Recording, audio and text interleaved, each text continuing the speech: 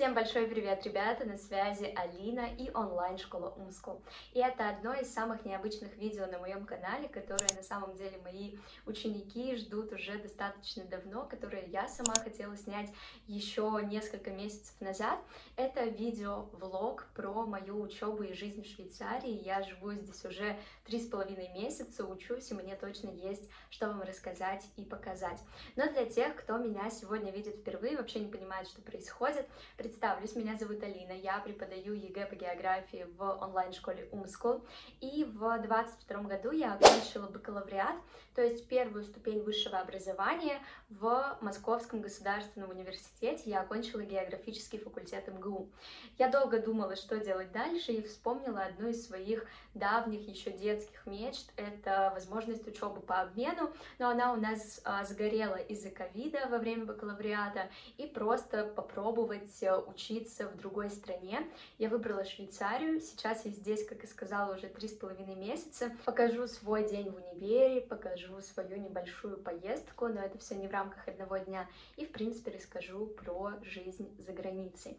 Но часто мне задают вопросы, как вообще я поступила, какой процесс, и процесс поступления за границу, он сильно отличается от того, к чему мы привыкли в России, то есть тут не надо сдавать какие-то государственные экзамены, каких-то испытаний, знаний для студентов нет, и на самом деле а, поступление происходит за счет а, пакета документов, которые нужно подготовить. Это достаточно сложный процесс. Самые важные из них это резюме, а, то есть CV его называют, мотивационное письмо и огромный пакет документов, связанный там просто с тем, кто ты такой, паспорта, дипломы, скан аттестата, перевод аттестата. И, конечно, еще из интересного здесь очень влияет средний балл а, диплома. Мне очень от этого радостно, потому что у меня красный диплом и достаточно высокий был балл. Плюс а, я поступила на направление Environmental Science, и это, по сути, наука об экологии, и у меня точно такой же, ну, похожий бэкграунд а, был, потому что я оканчивала направ...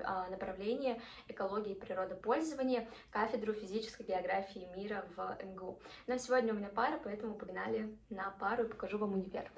Дорога от общежития до университета у меня занимает 20-30 минут на автобусе или на автобусе и трамвае, и это, конечно, большой контраст. С Москвой до сих пор не могу привыкнуть к этим расстояниям. Мне кажется, в самом начале я забыла упомянуть, что я учусь в университете Женевы, это крупный университет, у нас большой кампус, я учусь в одном здании, хожу обедать в другое, и сейчас я вам его покажу. Вот здесь, кстати, в летнее время стоят столы, и можно кушать прямо на улице, потому что внутри находится находится столовая. Вообще сама атмосфера мне очень нравится, все очень милое, новое. И сейчас мы зайдем внутрь, сразу покажу то, что меня очень поражает до сих пор. У меня есть студенческий, это карточка, с которой я могу ходить в столовые, могу ходить в библиотеки, но для того, чтобы войти внутрь, ничего не нужно, тут нет никакого пропускного. Это здание довольно крупное, тут находится много аудиторий, но у меня тут пары не проходят, я обычно сюда прихожу на перерывах, чтобы с кем-то пересечься и пообедать, и, конечно, хожу печатать документы в библиотеку. Она находится вот там, Тут, в принципе, популярно заниматься в библиотеках, их очень много, но мне комфортнее работать из дома, в удобной одежде и пить э, чай параллельно. Ну а теперь мы заходим в столовую, она начинается вот с такого кафетерия, тут можно взять кофе, газировки, э, сладости, булочки и так далее. Ну а дальше находятся сами уголки с едой. Очень удобно, что в приложении университета у нас на неделю вперед публикуют расписание, и можно заранее выбирать, где и что хочется взять взять. Мне кажется, это удобно. Сейчас идем в мое здание, но перед этим зайдем за кофе. Это моя всегда большая традиция еще со времен учебы в МГУ. Из интересного я учусь на двух языках, на английском и на французском.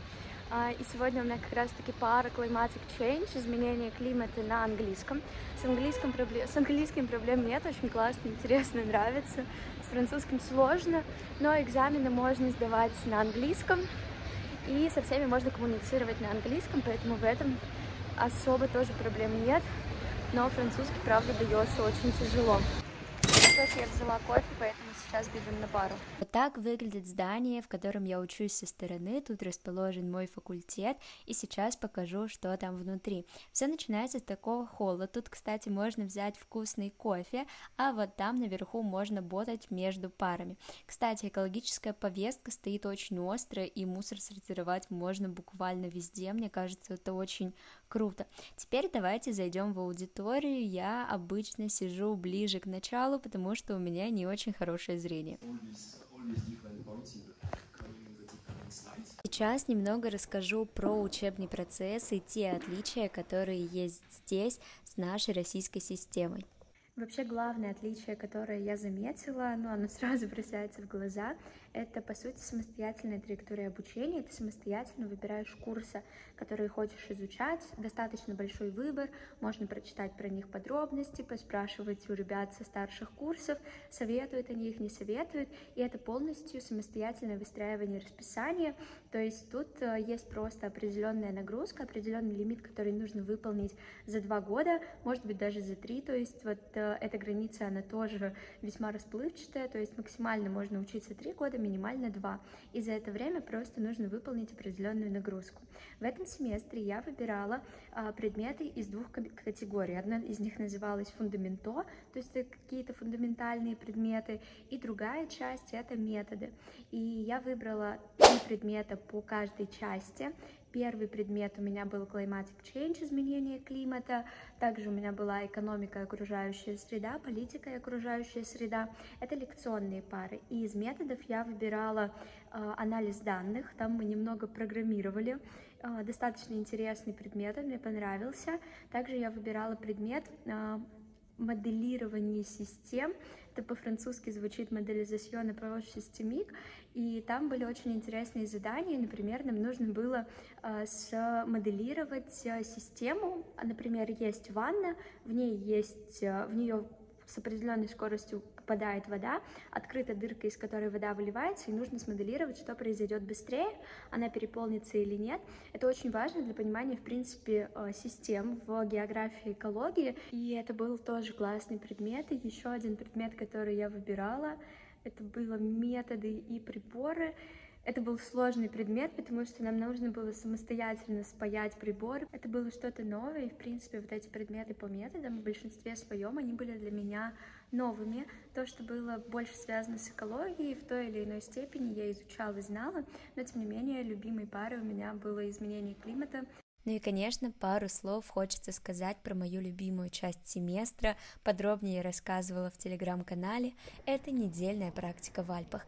Это было, во-первых, красиво, а во-вторых, очень интересно. Ну что, ребята, у меня наступили долгожданные выходные, и я отправляюсь в Страсбург, во Францию, на главную рождественскую ярмарку Европы. Буду вам все показывать. Сейчас уже еду в поезде из а, Швейцарии во Францию.